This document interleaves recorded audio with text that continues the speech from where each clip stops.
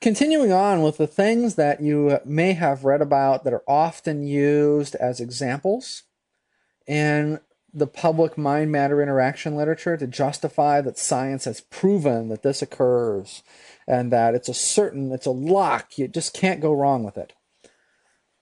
Princeton University had a long running lab called the PEAR Lab, and it basically dealt with it was Princeton Engineering Anomalies Research Lab, um, shortened to PEAR. and it and it dealt with the idea of it was actually very very brilliant and very very interesting.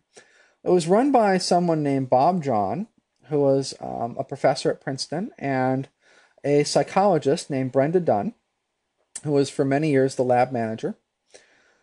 The idea behind it was that Jahn was a material physicist, materials physicist, and he was having materials engineer, physicist type, and he was having um, issues with getting impurities totally out of things for uh, NASA.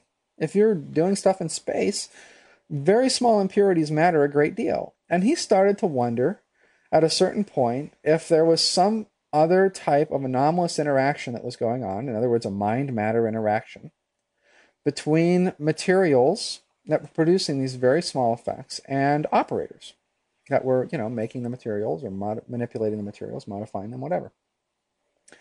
And so we actually got a lab funded to look into that. And then over the subsequent uh, couple of decades that followed before the lab closed, which was very in, in recent years, very recently, um, he wound up looking at all sorts of mind matter interaction type of things.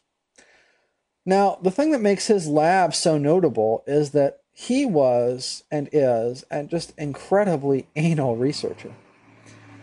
And so you're talking about, you know, really a noted physicist at Princeton University who decided to turn his intellect on to trying to solve this problem of whether or not there was a mind matter interaction that was in essence, creating defects in certain materials. And went on from there to more broadly explore mind matter interaction in general. Um, what, I, what you see here is just sort of some overall information that I've abstracted from their final paper uh, when they closed the lab. Now, they have a new book out actually, um, and you can go to um, you can see princeton.edu slash tilde pear slash, and you can still get to the lab's pages. They're still up there. The web pages are still up there.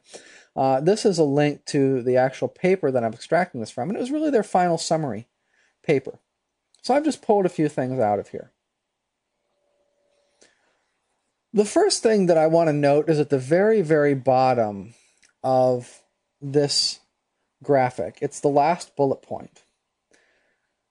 And if you go, say, four lines up from there, you can see it says, to summarize, the size of these deviations failed by an order of magnitude to attain, to attain that of our prior experiments, or even to achieve a, a pervasive or persuasive level of statistical significance. What this is really saying is, and you can see a journal reference there if you want to actually look up the paper that talks more about this. What this is really saying is that there were three labs that tried to replicate the work that had been done for decades at the PEAR Lab in Princeton, and that replication failed. Replication is an extremely important thing in science. Science deals with not just doing one set of experiments in one place in one way, but trying to attack things from so many different angles that you really exclude any possibility, or as much as you can, uh, other possibilities and other possible explanations.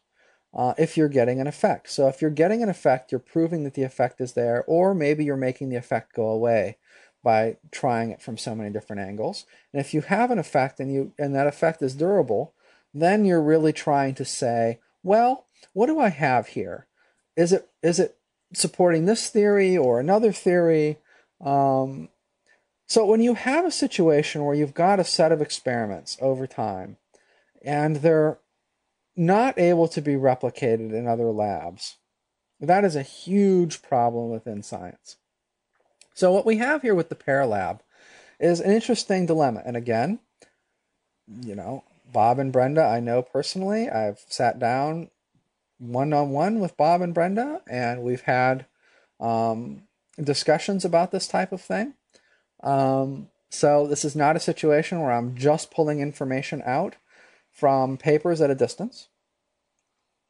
I've done a lot of work. I've traveled around as much as I possibly can to meet people who are involved um, in this type of research to the extent that they're willing to be met. And Bob and Brenda were. So here we have a situation where we have a decades, couple of decades of scientific experimentation, very, very rigorous scientific experimentation done at a major university, that when it tries to be replicated towards the end of this period, the replication fails. So we have some we have some issues where we can't really say something is going on here without that replication occurring.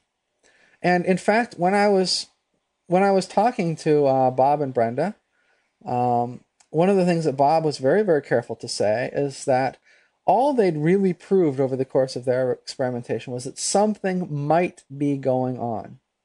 Not that something was definitively going on, but that something might be going on. So after 25 years of experimentation, basically, the best that they could do, coming at this from so many different angles with the brilliance of the minds that were involved in this project at Princeton, was that something might be going on. And part of the reason for that is because of failed replication that you see here, uh, but also because the more they instituted um, safeguards in their experimentation, the more the results went to random.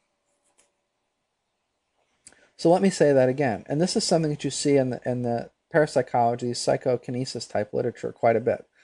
Um, that the more trials you do, the more experiments you do, the less significant the results become. They may start out being highly significant, and that, but over time they will trend to be basically random, to not be significant. Um, so you saw the same thing happen basically with PEAR. It happened with um, all kinds of like dice experiments and things like that at a very famous uh, laboratory at Duke University, the uh, Rhine's uh, Research Laboratory. Um, now, what people say that are involved in this type of research is well, this deals with intent. And in the case of the PEAR Lab, for instance, they had um, they were using um, basically quantum level effects a lot of the time. Sometimes they were using mechanical level effects. Um, but they were basically trying to get people to intend to have either, for instance, more ones than zeros if it was an electronic apparatus, um, or for if they were dropping steel balls, for instance, down sort of a random course, uh, to have more of them show up on one side of the catcher than the other side of the catcher. Uh, so all sorts of different stuff like this, right? But it basically deals with mental intent. It's mind matter interaction. It's trying to wish something at a macro level in reality. Um, a little bit less of a macro level, obviously, for the quantum level effects but nonetheless at a at a you know observable level basically of reality having more ones than zeros even though it's being produced at the quantum level it's still more ones and zeros on electrical readout so their case that they make that people at the rhine uh, at the duke uh, laboratory makes etc is essentially that well, you know, people's intent varies. They might start out very, very focused on the task, but over time that changes. And so over time, you have a situation where uh, their their performance basically decreases. They get tired, they get distracted, whatever. That's all well and good as an argument, except that the reason that you perform additional trials is so that you can make sure that when you reach a certain st- statistically significant number, your results haven't gone to random. And the problem is that in most of these cases, with most of these types of experiments, they do. They go to random when you perform enough of them. So there's a couple of arguments against this type of research uh, from a scientific standpoint. And those are two of the most powerful ones failure to replicate and going to random. The more sort of controls that you introduce over time, the more trials that you introduce over time. And you can, in fact, see that in the third bullet point uh, with Bob and Brenda saying, you know, without contest, I'm sorry, the second to the bottom bullet point, without contest, the most challenging aspect of such anomalies uh, type of experimentation is the well known propensity of the phenomena to manifest with only irregular replicability. Now let's look at some of these other bullet points up here. So the first, uh, the second, third, and fourth bullet points here, right underneath the link to the paper, um, these deal sort of with the overall population, with the overall research population, right? So overall, there were 91 research participants, and in parenthesis, you see the significance number. Um, a 0.07 is not a statistic a statistically significant number. What you really want there is 0.05 or something smaller than 0.05, right? So if we look at the entire research population across all of their trials, and you have to remember, it's very important to remember that this includes early trials, um, where there weren't a lot of controls, as well as later trials where there were a lot of controls, right?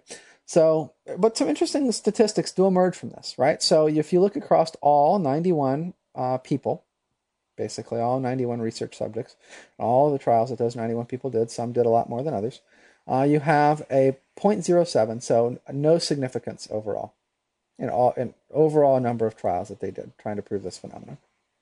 So, in other words, it's it's trending in a direction of us of something. That's why he says, you know, there some might be something going on here that's that's trending towards a 0.05 level of significance, but it's not a 0.0 level five. So you really can't say that there that there is a statistical significance there. However, when you break it up into men and women, look at the difference there. 50 men, 41 women. Men totally non-significant, right? 0.77. Women very significant. Uh, 0.0036, that's a very significant result. And then if you try to divide it out and you say, well, were there people who were who did a whole bunch of sessions and who seemed to be very um, able to produce changes? You know, someone has to do a certain number of sessions in order to be statistically significant in the in and of themselves. Um, and so you see that there were 20 people that were considered prolific by them. And, you know, 4 times 10 to the minus fourth is a highly significant um, number. And then the non prolific people. If you look at them, well, you wind up with 71 people. Um, remember, there's 91 total, and no level of significance there at all 0.79. And then what about men and women? If we divide it down into men and women, prolific males and prolific females, we're still seeing the prolific females, we're seeing the women effect, right? So a huge significance in these 11 women's results. Um, so it's really quite interesting uh, that it did seem like some people who did do enough statistically significant work, um, you can say there was a possible effect for. So in the PEAR Lab stuff, right, we what we can't do clearly from this data is say the law of attraction, new thought, the secret totally works, the PEAR Lab proved it, right? That's what you hear. That's what people say in the public sphere.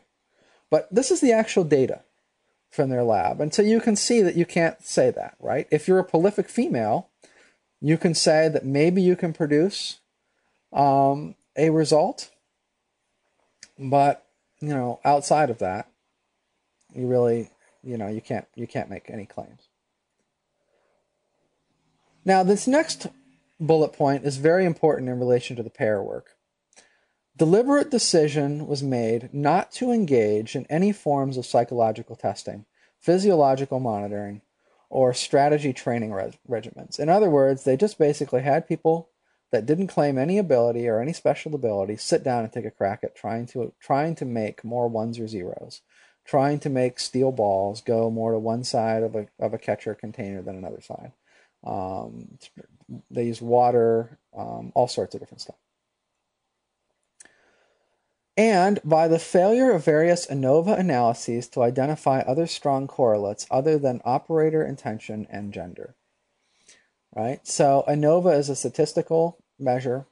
Um, it's just basically used to try to figure out if there were uh, if there were effects that were caused by certain things. So in this case, it would be an effect caused by um, gender and, of course, intending more ones or intending more zeros, just as an example. And those are the only two things, basically, that they ever found produced a, a, a statistically significant um, effect. All right, and there are lots of much more detailed analyses of the data, lots of much more detailed analyses that have been done um, by, you know, really drilling down into individual operators, where individual operators um, able to get there. But I just really wanted to just show you some of the raw data, some of the actual um, more scientifically talked about way of viewing this information because it is used so heavily. The PEAR Lab is cited so widely as having sort of universally proven that the secret and the law of attraction and mind matter interaction works. And in reality, you can even just see from this very high level data um, that that's not the case at all.